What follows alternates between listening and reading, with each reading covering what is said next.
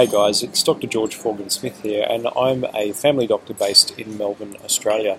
I'm really thrilled to be able to announce that I will be presenting at CLAW 2016.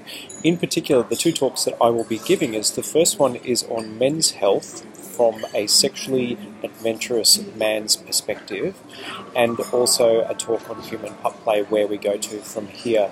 I'm really very, very excited and thrilled to be travelling not only to my first claw but to be able to present I think is going to be fantastic. I would love it if you are able to come along and attend either of the sessions and yeah, hopefully you'll walk away with a few tidbits of useful information that will help increase and engage your health and may even help you find the ideal doctor for you.